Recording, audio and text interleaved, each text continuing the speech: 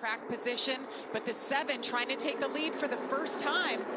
And this is the And first he time. does it. Yeah, this is the first time we've seen Justin Allgaier have a good start. He was on the bottom lane. I think that was part of it. Oh, he's sideways. John Hunter Nemechek, it looked like he was wrecked by his down. teammate Chandler Smith. Now they're wrecking all over at the front of the field, guys. That was a big wreck. That was a big wreck.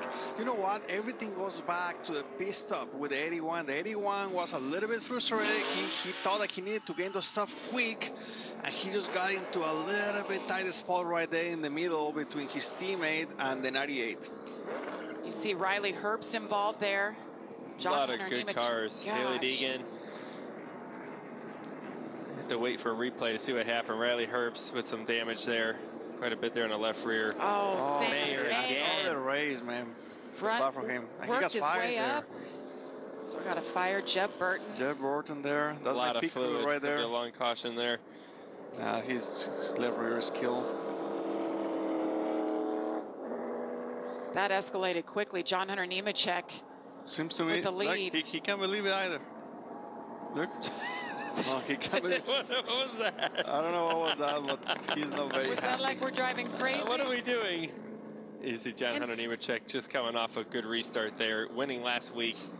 that was his stop. He that was his position right there, man. He he was on, on the lead. He had a, a, a good restart, and, and he just got put in a bad spot right there. Parker Retzloff. Gosh, tough. Both Jordan Anderson cars tied up in this one. Gosh, Sam Mayer, what a bummer. Trying for his first top 10 of the season, drove his way up, and let's see where it went wrong here. You see him the three wide coming off the corner, pretty tight. You know, John Hunter definitely squeezes them down a little bit, and he just kind of run out of real estate.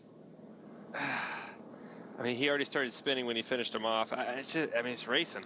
He's racing, man. He's racing. I think it's a combination of things. Obviously, the 81 got you know himself in a very very tight hole. The 20 didn't like that, and he pins him down on exit. And the 81 didn't have a didn't have a way to go, unfortunately, because the the, the 98 was right on his left rear as well. Mm. Let's get a look from our.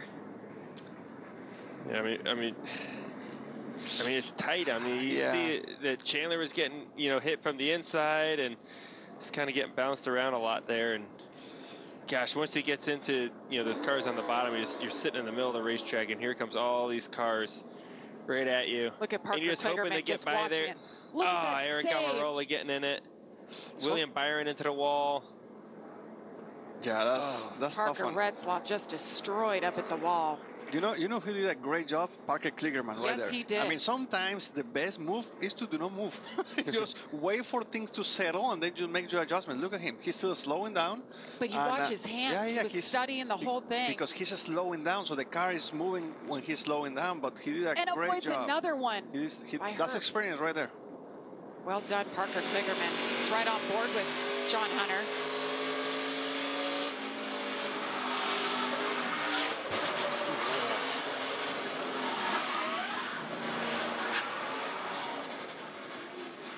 Man, from that, Ugh. from that angle, it doesn't look like he was pinching him down. I mean, he was in his racing line.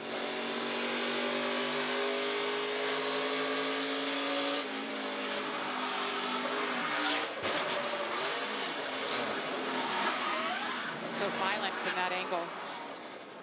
Yeah, I mean, you just, I mean, you're, you're it, like we said, it's it's tight coming off the corner there. You, you're you're three wide. I mean, everybody's into each other. Late race restart, At the front of the field, though. That was Yeah. and that's Third on hard back. for everybody. Think about this: you're going straight.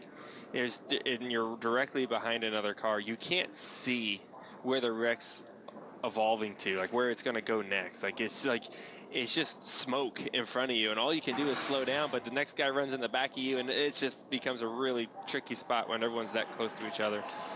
a lot of lec- wrecked race cars. We're told, I believe, 11 cars with damage. William Byron there. Left front damage. We, we saw him get squeezed into the fence a little bit, and the 20's still running, but obviously a lot of damage there.